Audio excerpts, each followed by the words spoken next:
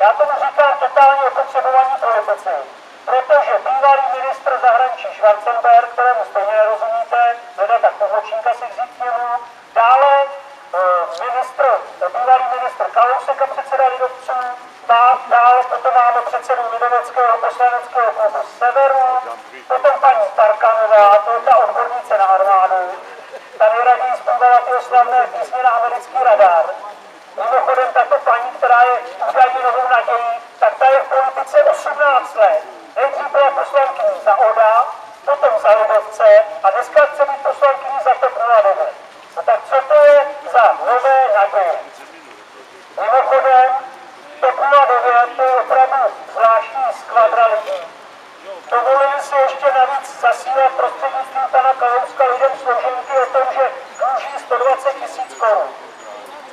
Naprosto to způsobilo zděšení, seniori propadli úplnému zoufalství, že mají zaplatit 120 tisíc korun, někteří se zhroutili z toho. Takže to je velmi špatný vtip. A navíc nechápu, jak ještě může mít někdo takovou drzost posílat lidem informaci a složenku o tom, že údajně dluží 120 tisíc korun.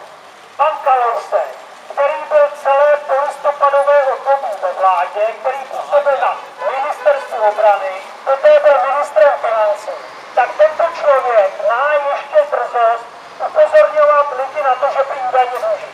On, který nese odpovědnost za to, jak to v této zemi vypadá. No tak to je naprosto skandální a myslím si, že ta nenažraná prasata už opravdu neví,